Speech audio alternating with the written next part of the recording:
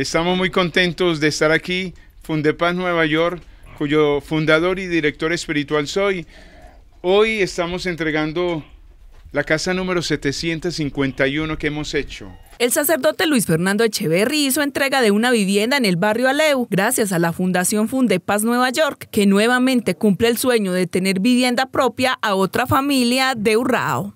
en estas tierras maravillosas, en este paraíso escondido, hemos venido a algo muy especial.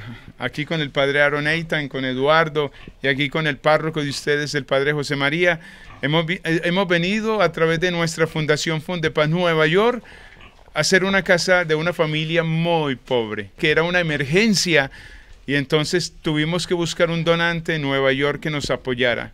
Y gracias a Wendy y a Dani de la familia Marty, Estoy muy feliz de venir el día de hoy con el Padre Fernando y entregar esta casa número 751 que ha entregado Fundepaz a lo largo de todo el mundo.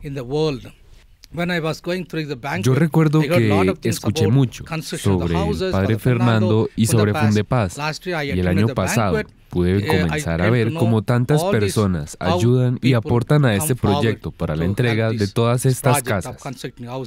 La familia Varela ahora disfruta de un techo, camas, colchones y hasta ropa y comida, gracias al aporte de una familia de los Estados Unidos, pero también con el apoyo del padre José María y las hermanas carmelitas misioneras. Somos la familia Varela Varela, eh, estamos muy agradecidos con el padre eh, Fernando, el párroco Jesús María y las hermanitas carmelitas por esta bendición tan grande. Eh, no, no tenemos como como agradecerle por, por tanto que nos han ayudado, Dios los bendiga. Que nos han colaborado, nos han ayudado, nos han aportado algo muy grande, demasiado, demasiado grande, que nosotros no contamos con cosas tan grandes en la vida, que nos están llegando y que nos llegaron demasiado muy buenas. Hoy se hace realidad, es la entrega amable, cordial, generosa para esta familia, un señor su esposa y sus tres hijos. Gracias Paz Nueva York, familia Martí, por esa bondad, ese cariño que siempre expresan a la iglesia a través de el padre Luis Fernando Echeverria Acosta. Mi Dios multiplique con gracias, con bendiciones, tanta bondad y cariño que siempre nos expresan.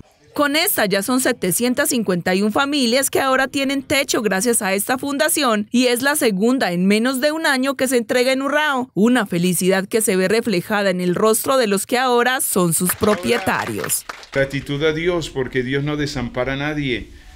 Y a veces la gente se siente un poquito triste, agobiada por su situación, porque no tiene casa, porque vive triste.